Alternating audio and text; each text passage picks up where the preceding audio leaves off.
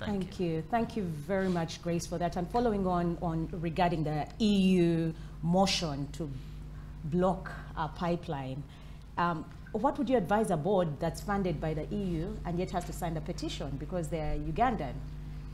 Uh, because that's the stakeholder management. You have two stakeholders. Who is the bigger stakeholder in this case? GOU or Okay. the funder?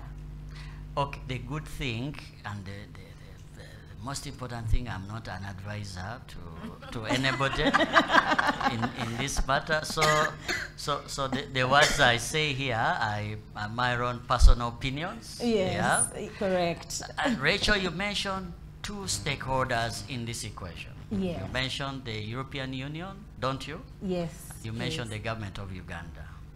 But if you peel that onion a little bit, are they only two stakeholders? If you think about it, is it only the European Union? Is it only the government of Uganda?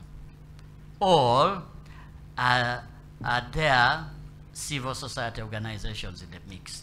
I, I'm just asking questions. Don't say that guy came and said, yes. oh, and there are civil society organizations. Correct. Or isn't there a, a geopolitical issue? Or isn't, I'm just asking questions, or isn't there now, as we speak, a political spin to the, to the world conversation? Correct.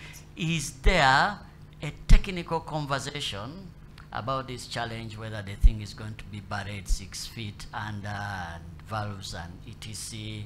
Is it only that? So, so is, is it about then, then uh, re-engineering the solution to, to be able to mitigate the challenges that are being said by the very many actors?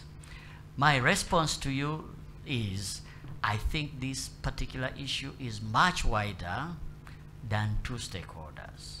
And that is why this stakeholder uh, conversation is a much broader, is a much wider, is actually a much more strategic conversation for organizations and. Interesting. Thank you. very interesting. And thank you very much, Grace. Very politically correct mm-hmm. answers. and your disclaimers have been noted. So thank you very much for that.